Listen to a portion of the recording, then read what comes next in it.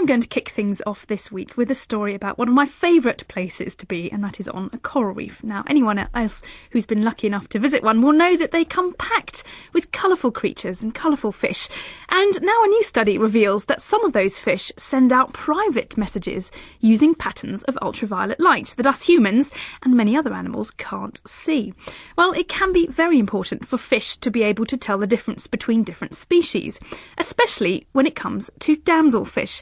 These feisty tiddlers defend their farms of seaweed from intruders, and the worst kind of intruder is a member of the same species because they can come along and strongly compete for food and mates.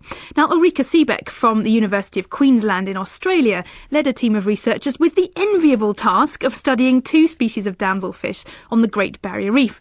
And they've discovered that the ambon damselfish, a small yellow fish, can read secret facial patterns of UV spots and stripes to tell one species from another. Is it not obvious? Are there not big, gross morphological differences between one species and another? No, these two actually, uh, certainly to a human eye, um, look very similar. Really, I think we'd have a tough time telling them apart. If you got it under a microscope, you'd, you'd be able to pick it out. But essentially, the colour in our visual range is very similar. What the team did was they presented a wild ambon damselfish with two other damselfish inside clear plastic tubes. This was in the wild on the reef. Um, one of them was was the same species, and the other one was this other species, the lemon damselfish.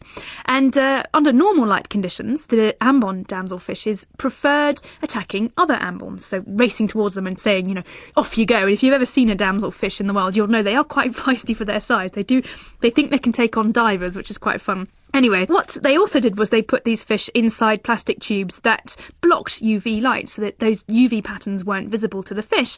And when that happened, they had no preference for a fish of the same species or of the other species, showing that it probably is quite important to be able to see UV.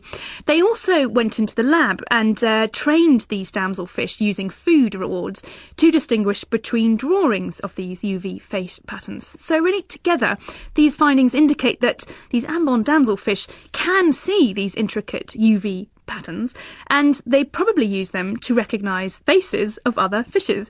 UV makes a really ideal secret signal because not many other fish can actually see it. It's, it's got a very short wavelength, um, which means it's quite easily scattered in water, making it actually not that useful for very precise vision, uh, certainly over a longer distance. And very long lived predators often actually protect their eyes from UV damage. That's what we do a lot um, uh, with our eyes, um, and we screen out a lot of the UV. Um, and this means that damselfish can communicate with each other, find mates, and warn each other to keep their distance without ruining that camouflage against predators because the predators can't see it.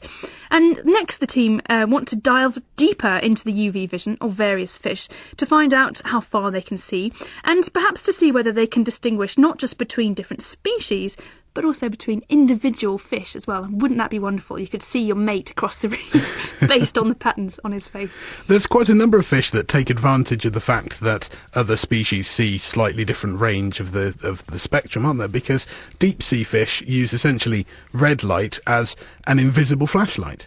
That's right. That's really why the sea is blue because the red light gets absorbed very quickly. So if you can emit or detect red light, you've got a really great secret wavelength as well. So yes, take advantage of the secret signals and you can do very well.